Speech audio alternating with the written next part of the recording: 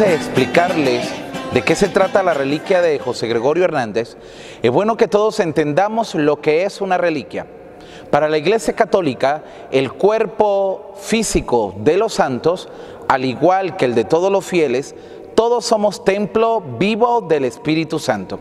El hecho de que a un hombre o a una mujer se le hayan comprobado virtudes de santidad hacen que este cuerpo entonces se convierta en reliquia. La Iglesia Católica llama reliquia en tres grados importantes.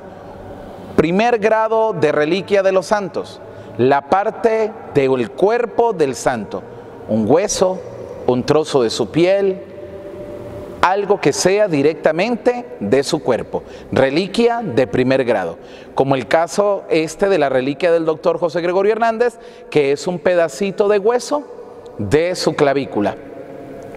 De la misma manera tenemos las reliquias de segundo grado, son las reliquias que son los objetos que usó ese santo, ropa, instrumentos en el caso de José Gregorio, el sombrero, sus instrumentos de médico, sus recetas, en fin, todos los objetos que él utilizó.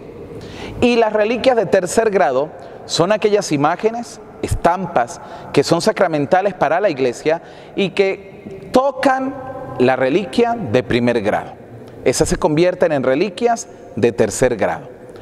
Bien, Habiendo entendido esto, explicamos la reliquia del doctor José Gregorio Hernández, la que nos visita. Es importante saber que después, en el proceso de la beatificación y con la noticia, se prepararon estos relicarios. Relicario se llama al instrumento que porta la reliquia. Esto es un relicario. La reliquia es específicamente la que está aquí en este círculo, que en este caso es el hueso de la clavícula un pedacito de hueso, un trozo de hueso de la clavícula del doctor José Gregorio Hernández. Una reliquia de primer grado, como ya lo había explicado. ¿En qué consiste este relicario simbólico? Concede un círculo que significa la aureola de la santidad y junto con ello diez perlas que significan las cuentas de las Ave Marías del Santo Rosario que José Gregorio Hernández era devoto. De la misma manera le sigue el sombrero. Aquí en Venezuela y en muchas partes del mundo ahora se conoce a José Gregorio Hernández como aquel hombre que vestía siempre de sombrero y que le portaba la elegancia. Finalmente en su base la forma de un microscopio, incluso consulente. Esto por lo que les había explicado al inicio, que José Gregorio Hernández es el primero que trae a Venezuela el microscopio y junto con él trae la innovación de la ciencia en la microbiología.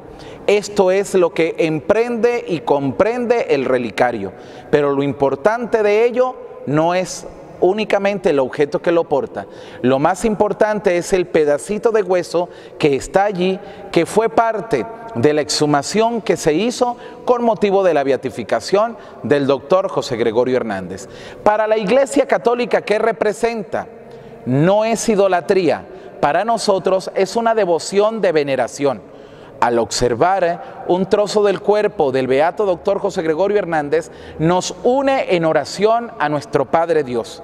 Por la fe de José Gregorio y por la gloriosa intercesión de él, sabemos que Dios oye también nuestros ruegos. Nosotros estamos claros de que José Gregorio no es Dios, pero sabemos que se comportó como un hijo de Dios de maravillosas y grandes virtudes.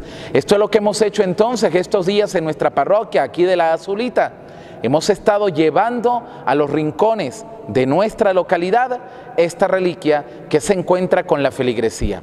Lo repito, el fervor, el amor. No existe en Venezuela una persona que no conozca la historia del beato José Gregorio Hernández. E incluso aquellos que no profesan nuestra religión han escuchado hablar de este beato doctor.